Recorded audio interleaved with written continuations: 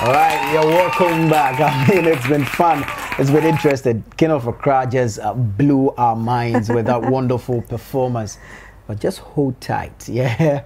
Strap up, get your seatbelts on because it's about to get hotter and hotter in You know, this we, we, we um, often say that it's not a fair world. And when I think about yeah. this gentleman, I really believe Exactly. that it's not a I fair world. you understand? Because how can you. one person be so talented? Exactly. How can he know it Yeah. all? How can he be Yeah. Mm-hmm. creative, intelligent? I mean, everything. yeah. It he, he does everything. What I want to find out from him today is if he can cook. Well, you know, That we do not know. I have been very close to him, you know, and when you talk to him beyond the surface. Exactly. he is very emotional. Oh, yeah? Oh yeah. Oh, and, yeah? And, and and you know, he is very very loving. Mm-hmm. You know, he knows how to take care of.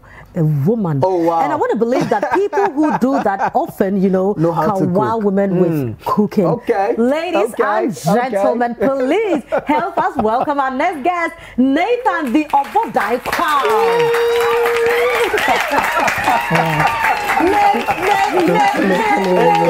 Sugar Bosky. Yes, sir. Obodai. What's up, Charlie, man? you What's do up, all. man? What's up, man? No, Charlie, but, you but, there? but who are you? Ade, where you why? Do you understand? Your level will be different. Charlie, I'm sure. Who are your Charlie, they are- parents? they are- Who gave big birth to you? Half amazing.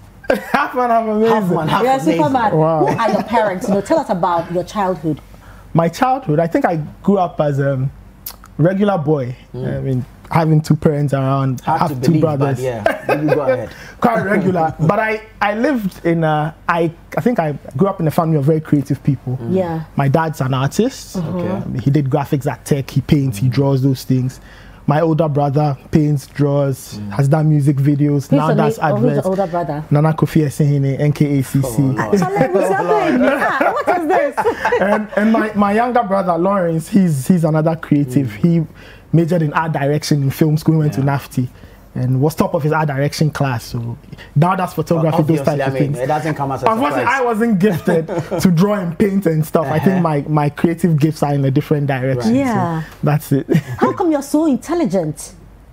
wow. There's a one Yeah. bear, what else? What bear, bro? Really? So, Am what I- bear- Vanessa. Am I? No, because I'm- because I- bec- from from from sports, being like head of Mm-hmm. Yeah. sports, and then coming to um, current research. affairs, and now head of research. you know, all these things, head of that's- research. Some posted, "Mom can be Johnny." Head of research. And Nathan, Yeah. tell us about your education. You know, where have you come from? Okay, um, so I went to school, primary and JSS at Datus Complex Okay. in Bubuashie. Then I went to Accra Academy, Bless. which was which was a non-starter. All the men in my family line went to Accra Academy. So my And, granddad, and- and- okay, so my granddad, my you know dad, earlier my we spoke to King of Accra. Yes. So King went to Accra. King's my junior. Okay. Really? Yeah, So you knew him in school? Yes, I knew King of Accra. Did you ever think that you guys would do something? I, I won't say no, but in his year group, because I noticed, I mean, of all the people who did music in mm-hmm. King's year, I noticed he was very different. Okay. Okay. You could tell that he had a deeper love for music. Mm. Right. So he, he always stayed at the back of my mind. And many mm. years after school, mm. we would meet casually here and there. I remember the last place I met King before he joined Citi. us here was at the Accra Academy Old School reunion. Okay. Okay. He was with some other beat makers, Slimbo and some other Okay. guys. And then, you know, we just spoke casually. And every, every now and again, I think of, okay, I want to work with King, I want to work with King. So we'll then- come back. You know, we'll come back to your work with King. Yeah, but- so, okay, so after from- secondary yeah. school, mm-hmm. went to went to the School of Translators, University of Ghana, took up Yeah. uh, an undergrad in translation. Then after that, uh, did my national service. I taught for a year.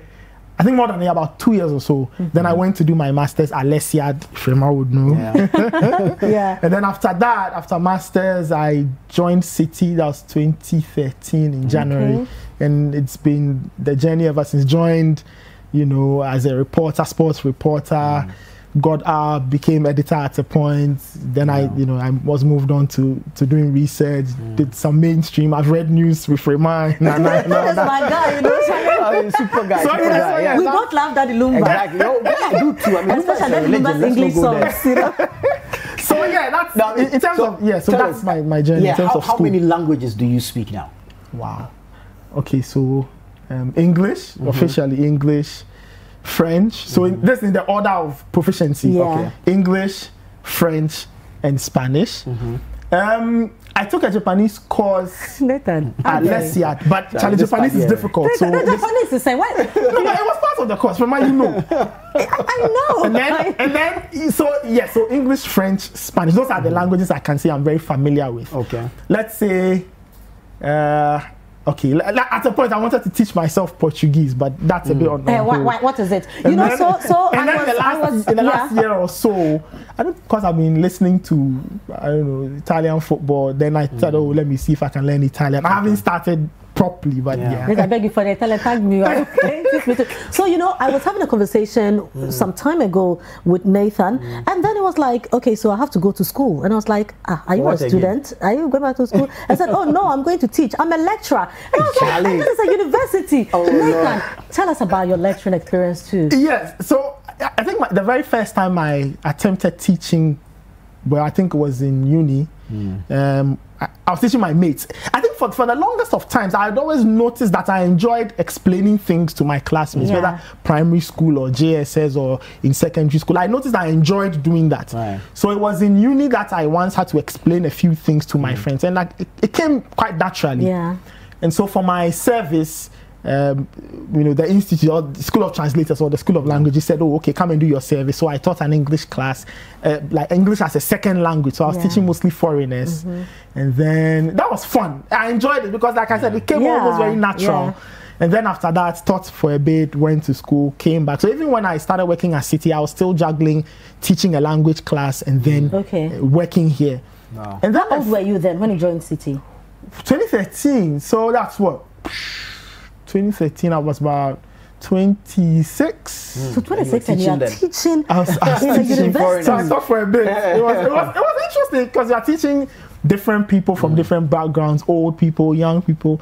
And I remember when I when I did my service, this was in my early 20s. The first day I stepped into the classroom to teach, the students were shocked. I'm sure. Because these Yeah. are 17, 18 year olds, and they are looking at a lecturer who's not too. Equally their age. Yeah. so yeah, I get that. That vibe was there. Yes, and then Yeah. So a few years ago, uh, Bernard Avle, who's our general manager, told me mm. that the UPSA VC wanted to talk to me on on an issue. I didn't know what it was. Mm. Then he called, he sought my opinion. I shared my opinion with him. Then just when he dropped the call, he said, "Wait a minute, like, do you teach?" I was like, "Yeah, I've taught a few times." The. VC called you. Mm. yes. So, that so, you're a big so, so you did not even go looking for a No, job. the, in the VC called to discuss something else. Mm-hmm. Then just when what, the what, call, what, what did he want to talk to you about? oh, do I want to say? it? Yeah, I like just, you know, oh, the summarize kakra. okay, so this was it. So UPSA wanted to give uh, the CAF president an honorary degree, Okay. Mm-hmm. and honorary degree. Which of the CAF presidents? Ahmad Ahmad. Ahmad Ahmad. Oh, Yes. okay. So they wanted to give him an honorary degree. But, I mean, Ahmad Ahmad is no more CAF president. Yeah. Yeah. Was it Eh. before or after his troubles? This Or was way before. troubles? This was way before. No, otherwise, he wouldn't have gotten an honorary. Yeah, So he wants. It looks like he didn't know what to do. So Mm-hmm. he saw the opinions of some journalists. He has spoken to some other journalists, and he said, "Okay, let me speak to you know this guy and let's see what he has to say." So I gave him my opinion. Just when he ended the call, he asked if I had thought before. Mm. And I said I had taught before. Then he asked. Would I want to take up an appointment at UPSA? I said, okay, I'll think about it. Yeah. I thought it was one of those things. Then he called back a few days later and said he was serious. So I went to see him, gave him my CV, he looked at it. Then a few weeks later, um, sent me to the faculty, met my faculty here. They said, okay, teach uh, level hundreds. Wow. You know, So what were you teaching? Right, so I was What teaching them business communication. So they gave me a business communication syllabus to teach. I said, Hmm. okay, it's not too strange. I'll teach that. Wow. So I, the first few weeks was also awkward, but after I got the hang of the course, I said, okay, we could teach. So I But how taught are the girls, you know? You know, some friends Yeah, that do come you on, has girl. come. Charlie, it's the And girls, you which know, girls are and we you talking know, about? As a lecturer, no, you know, the new lecturer. I want I know, you can't tell me that the girls uh, were not, you know, excited to see you. I don't know if they were. They never told me anything. About I. But you, you, no, they didn't show any signs as well. Well, I you must have caught a few Yeah, signals here and there. what, what kind of A few signal? signals. I got mean, keys. I got keys, I got keys. okay, I got keys. Every you time say to us I to teach, help oh, hold on. Okay. Every time I teach, I have Uh-huh. a principle. I say that I believe in making my students feel comfortable. So I'm, I'm usually very, very nice with my students. I try to get the class to be warm and cordial and all of that. So that's yeah. So people will be nice and say, "Oh, Yeah. Mr. Carl," those types of things. You know, uh, yeah. But luckily for me, I have not, I have not experienced any very precarious situations. Thank So God for that. if they go like Mr. Quao, you, you also don't go like, please call me Nathan. No, I. no, typically, I would have, I would have loved to have been on first name basis with Yeah. students, but I think that in, in as much as you want to be that, you have to draw the line, and I think it's, it helps preserve that kind of relationship. So if they call me Mr. Quao, I'm very fine with that. You know, so you were privileged, you know, growing up, uh, uh, when you finished school, university, you had the options, you know, to either go into music or either go into maybe, or music had not come in no, at no, that no, time. no. For, for the longest of times, I'd always considered music as a hobby, something Okay. I just discovered I could do. Mm. So I never really thought about it, and I'll say that. Mainstreaming it. Yes, Yeah. look, even putting music out, it's thanks to King of Accra. Okay, Yeah. so so we'll go deeper into mm-hmm. that, but you kind of knew what you wanted to do because you're already teaching, even Yes, when you were yes, I- out I- of yes, school. yes, I- so where did the media, you know, come in? Why did you not continue to Yeah. lecture students? Why? What, what Okay. happened? I either would have, and probably I may still do that later in life. Um, maybe go get a doctorate and teach in my later years mm. because I think I will end up in the classroom Okay. eventually. Uh-huh. Right. But growing up, by the time I was eight, I knew in my mind I was going to do one of two things mm-hmm. either be a journalist or teach, or Okay. do something that required me to talk. Wow. What, how did by you know? eight, I knew it because by six, by age six, I could read the newspaper. Even I didn't understand anything, Mm-hmm. my dad would hand me the paper and say, "Read what you see," and I could read almost everything in the newspaper. Okay. I did not understand what I was reading, Yeah. but by eight, I could watch the news Mm. and run and go and tell my mother that I saw this on CNN. Oh wow. And I remember very something very interesting. The, the day Lady Diana died, Yeah. my mom was outside chatting with my aunt, and I ran out of the room and I went. I said, "Mom, Lady Diana is dead." She was like, "Are you crazy?" I I'm said, "I'm not." like a, Yeah. so Come what? and watch the telly. From that point, that episode stayed with Hmm. me, and I told myself that I was either going to end up as a journalist Hmm. or end up doing something that required me to talk or communicate. And then as I grew up, of course, everybody loved sports. Mm-hmm. So as I grew up, I tended to watch more sports, probably more than more than other boys. I'd Okay. spend more time watching football games, trying to understand Yeah. and all of that. And the interest grew and grew and grew. And by secondary school, I just knew that it, at a point it would come. You know. Do you do any sport yourself? Well, I haven't played active football in a while. Football Okay. and basketball. Those are the two sports I say I can Okay. I can Okay. do. Okay. You know, I haven't done those in a while, but those are the sports I think I can do mm. quite well. And yeah, so by secondary school, I kind of knew. So some of my mates in secondary school are not surprised at mm. all as to Yeah, how my life yeah, has yeah. played out. Mm. Some of my mates from university are not surprised at all. Mm-hmm. Probably the only surprising part there is the music. Yeah. But even that, mates from secondary school, I mean, mates next from can secondary do school knew Yeah. that, yeah, because back in secondary school, we played around with music, mm-hmm. did some rap here and there and all of that. Yeah. So. But how, how do you feel when people draw a link between yourself and the original Nathan Quao? You come from? My granddad. Yeah. It, it feels, it, it's kind of funny and mm. odd sometimes, but it has its perks. Mm-hmm. Right. Strangely enough, it has its perks because you you go somewhere, you mention your name. Go like, oh yeah, your granddad is this, and you know, so I knew him or something like that. And I remember meeting Ben Dotse Malor once came to Citi, oh, okay. Yeah. and we were introducing ourselves in the newsroom, and I mentioned my name. Then he said, "Wait a minute, it's your granddad." And I said, "Yes." Then he looked at me and said. I, I owe you lunch. Why? he went to Keta Secondary School. Now, my granddad Okay. was the first headmaster Yeah. Okay. of Keta Secondary School. Uh-huh. And Ben Dotse, that was Ben Dotse Malor School. Yeah. He said, I owe you lunch. Like, that's the school your grandfather was headmaster of, and the school shaped me, all of that, all of that. It, it, it opens doors. Yeah. You know, it's Yeah. kind of. The interesting part, though, is when people meet me and they go, like, you know, you have a street named after you. Yes, that's true. No. Nathan Quao Street. But it's one of these days, I need to go and take a picture there. You Yeah, should, you yeah. should, because the day I, the first day I saw that street, I was very You excited. I should, said, yeah. "Oh wow, Nathan Quao." I need to go and take a You picture should, there. you And tag should, the picture, should. the man and his So street. why did you decide to go to Leicester to do international relations and diplomacy? Um, I remember after no during service, I kept asking myself, what would I do? And I think my mom also said, see, you have to go back to school and, and mm. learn again. I said, okay, but what am I going to learn? So I remember when the advert came out and they published it in the papers, I looked through the courses. Nothing really jumped at me mm. except international affairs because I said it would be nice to understand how the world worked Yes. Exactly. you know how governments functioned, how mm. governments related to each other. Because I felt it was a great thing to know, and knowing that would be important. I mean, even as a journalist, just knowing Yeah. how the world functioned. Yeah. So I said, okay, I was, I was, I'd, I'd apply. Okay, so I applied. I remember the long, anxious wait to see if I'd get in to do the interview. I got in and was even more anxious waiting to see if I had made the short Yeah, list. And I remember yeah. a gentleman I went to the interview with called me and said, Nathan, you've passed. Your name is on the list. I said, That's not true. He said, Okay, where are you? I said, I'm teaching. He said, Okay, when you are done, just to, if you want to just satisfy yourself, go all the way to Legon Yeah. and go and see the list. Yeah. So I went all the way from Adabraka to Legon because I was teaching at the Institute of Languages. Okay. Got there and I was nervous. Then as I approached, you know the LECIAD building, as I approached, I saw the list on the, the glass door. And I got there, got close, got close, got close, started looking through one, two, three. I couldn't see my name. I was like, what's happening? Then I saw my name, it was like 20 something. Then I looked at it again and looked at it again and looked at it again. Confirmation and good measure. I shook my head. I called my mother Yeah. and I said, Mom, I'm in. She said, Wow. wow, you really? Wow. So I But think that was can yeah. really be tight to Yeah. get Crazy. entry because Yeah. they just take a few people. Yeah. So in my class we were 50. There are about 10 of 10 of the people from the foreign affairs Okay. place. Because it's important that they need to get this academic hmm. grounding of their work. Yeah. And yeah, that's But how has that helped you? Because you've done bits and pieces of everything. Oh, it- look, it, it, it helps because, for example, if I'm listening to the news, since I'm hmm. watching international news, right? Yeah.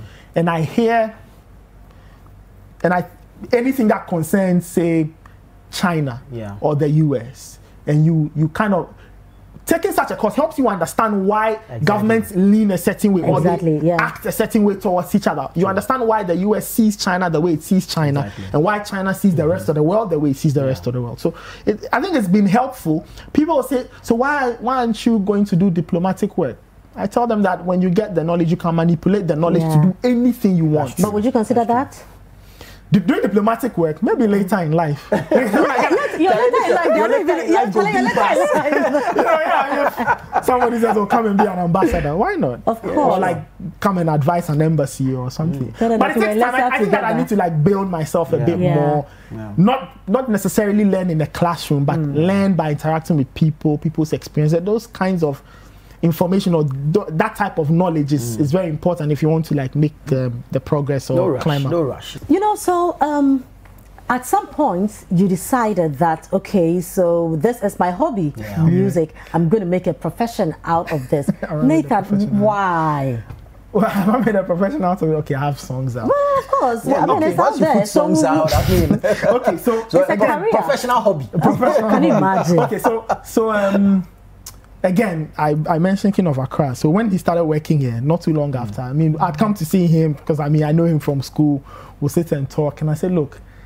King, I want to put out music. He says, ah, why not? Put out music. Said, Where do I start? He says, look, just, just put your ideas together. The very first thing I attempted, I remember when Sarkodie dropped Bibiba. So what he did was that after they recorded the song, they put the beat out and they Yeah. told people have fun with it. Yeah. And so I heard it, and then I remember I recorded that one. That I came out remember like, yeah, that. that some was December. I recorded it at work. Yeah, yeah. So now when it came out, people liked it. And then King said, You see, I told you you should try more of that. And then a few months later, Sarkodie again released the Who the Man instrumental. Yeah. He had Yeah. recorded a song with Kwesi Arthur. Yeah. And then I got the beat. And I remember it so well. I got it one weekday. I can't seem to remember which day it was. But I kept playing it on the drive home. But the more I played it, the more I, I started getting to, Yeah, I was ideas. getting ideas. So I got home. I was lying down. It was around 10, almost 11 p.m. I was lying down. And I said, no, let me write. So I got up. I was pacing up and down my room, playing the beat and writing the lyrics. And I wrote them all in one night. Ooh. And then I recorded one weekend. Like, before I was at the recording session, I remember recording everything at one go, Yeah. one take. No, you're spe- some special kid, huh? I mean, No, amazing no. that. and, and he's amazing on the keyboard. Exactly. Yeah. And then, so after life is not fair. that, and then after that, um, one thing led to the other. I got in touch with iPapi, and Yeah, you know iPapi, yeah, the guy who did Stonebwoy's Ololo. Okay. I got in touch with him, and then I got a sample of his beats, and then Mm. I got some beats of him. One of two of those beats. So one of that became Oh Yeah. Oh, yeah. Oh, wow. Right? And then the other one became Be Mine, and I featured King of Accra. Yeah. And Be Mine has an interesting story. I was struggling to write the song, Mm-hmm. But the moment I heard the beat, I knew what kind of song I wanted to write, Yeah. but I didn't know where to start or the kind of chorus or the hook, as we would say. So I played it to King of Accra, and I said, Charlie, you have to come up with something. And then he came up with the idea. I was driving home when he called me and said, I've sent you a draft of what I've recorded. Just listen to it if you like it. Mm. And as soon as I started playing the beat and his chorus came, all the locked doors and windows opened and the ideas This is the one. ideas started to flow. And then, so it was a Friday night. By Saturday 4 p.m., I had written the song. Wow. Awesome. awesome. So I woke up in the morning toying with the ideas. So between 2 p.m. and 4 p.m. that Saturday, this was during lockdown, Mm-hmm. right? So that Saturday I was home. Again, I was sitting in my room and I just wrote it. i just came together. Nathan, it's enough, you know. yeah. That is the keyboard there. Yeah. Do your magic, you know. Yeah. Let's do something fun. Let's let's let's hear you. Yeah, Let's yeah, come yeah. I'm the not, I'm not like a, an Elton John Look at your Nathan I part. heard you or anything, but I'll try. uh-huh. Okay. All right. So um, we'll just play bits and pieces. of Yeah, yeah, yeah. Try- Anything, try and have anything. We love it. Okay. So, so for, you and I love rap music. Yeah, yeah, yeah. Right? I mean, I'm, so, I- so I'm I'll a play. hip hop head. Yes, Yeah. so I'll try and play um, something of a of a rap classic, Mm-hmm. right? Something of a rap classic. I, I don't know if you're ready for this. Okay. All right, go. Oh yeah. yeah, I know this one. Guess who's back?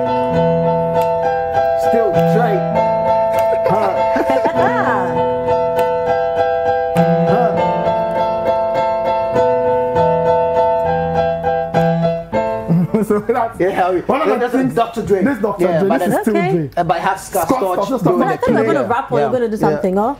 Frema, you relax. It's all right, okay. What you did to me last week. It's okay, it's okay. You see, now, no Here more. the roadside. Interesting. That's Okay, so um, what else do we play? Frema, you like Akwaboa? I know you Oh, like Akwaboa. I, a lot. I, I die. I have Akwaboa. okay, I, I like Akwaboa too. Yeah, I know. So so I'm going to play um, a portion of Okay. but one of my favorite portions of Shemibo. Okay, right? okay. So, so let's see. And I, apologies if I don't sing too well, but I'll help you. I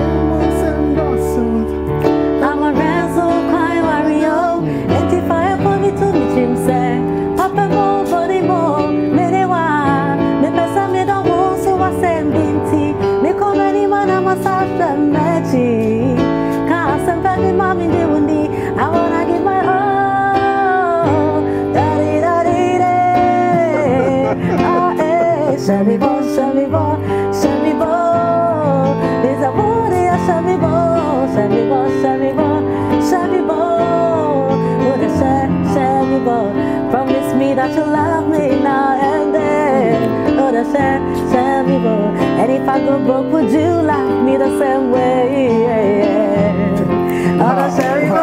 Yeah. No, but what can't you do? Can you Can you imagine? cook? Can you cook? A little bit. Uh, you can boil water. eh?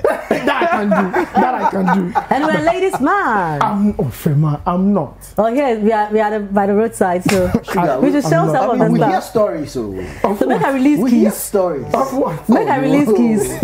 No. Okay. If you, say no, then I'll pardon you. This guy's amazing. Charlie, we're going to give you a microphone here. I mean, tweet out to some of yours. I mean, Of course, I mean, you know. had them. I mean, Please, please, do your magic. Yeah, yeah, yeah, yeah. I, I, I love, you know, I, I love the you mind. probably have to take the receiver from behind you. Take it off from behind you. Yeah, so I can, uh, yeah, so you can just probably put it in your pocket or something. Yeah. Yeah. Uh-huh. Then you can go with oh yeah, you know? Yeah. Oh yeah, oh yeah. Oh yeah. Shout out to everybody watching the Upside Down Show. Thank you for tuning in. All right, let's go. Listen, I'm riding my rhymes on the biggest pad. My people be watching, the thing is mad. I'm laughing and grinning because I just roll up and pick up the money in the biggest bag. In 2020, we were rolling hard. That be why the banger be going hard. You think that we slowing? You see what we're doing? We'll give you the music, we're going far. We're heading for the top now, never gonna stop now, never gonna flop now. Keep it going, and we never gonna drop now. So you better tap now, never gonna tap now. We be rolling. You people thinking we joking and really funny. Look at the ratings, have to check your silly money. You're taking everything you're putting on the table, leaving you disabled. We only get the silly dummies, but they call me the chief. Boy never sleep. Put a rap on fleek with a 363. But they call me the chief. And big boy never sleep. Put a rap on fleek with a 363. Uh, I take a pause and I breathe and I know this. And that I roll with the best and the coldest. You know I got more skills than I show this. You never hold this. You never messing with the figure man. Hypocrite pick, you blink, and it's a trigger man. Type of guy you rock with the jigger man. Rock the stage, the shout outs to bigger man. Yeah, I got my people saying DBDB. Charlie walk more, we're looking for the CDCD. And then we take them and eat the same GDGD. And they be calling us bad, the same DDDD. We do it every day, we work busy, busy. Who be the boss? They be asking, mini, mini. I'm living them with the tension, the heebie jeebie. So right now, it be 50 50, so no giddy giddy. But they call me the chief. Big boy, never sleep. And I put the rap on fleek with a 363.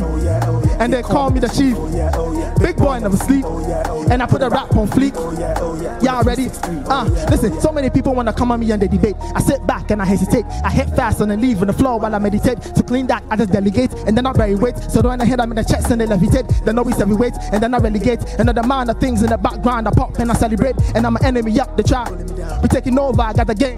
So now we talk up to the place and we taking over, I got the game. The streets got the flame, sit on top of fame, dropping these drums. So beats we got the game. Now the hit strap, they love the hip hop. The girl she took for me up on TikTok, but they call me the chief. And big boy never sleep. And I put a rap on fleek. Yeah, with a 363. And they call me the chief. Big boy never sleep. Put a rap on fleek. With a 363. Let's go.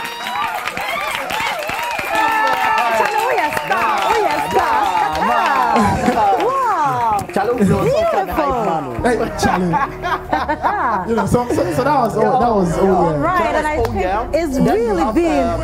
Then I then yeah, yeah, yeah, yeah, yeah, um, yeah, of yeah. King of Accra. Awesome, awesome. So King of. Accra is going to join you. you yeah? King of Accra will Uh, be joining me for, this particular song. Yeah, King of Accra is in the house. He'll be joining us.